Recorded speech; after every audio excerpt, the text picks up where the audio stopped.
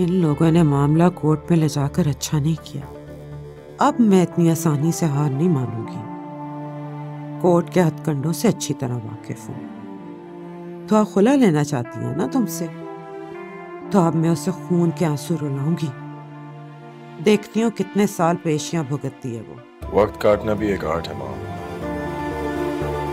जिनको वक्त काटना नहीं आता वो अपने आप को जख्मी कर लेते हैं। भाभी खुद को हकीकत की दुनिया में ही रखना। मैं तुम्हें झूठी उम्मीद नहीं दिलाऊँगी। हो सकता है हम ये केस आज जाए। आज शकीला आंटी की गवाही है। देखते हैं आज अपने बेटे को बचाती हैं या अपने ईमान को।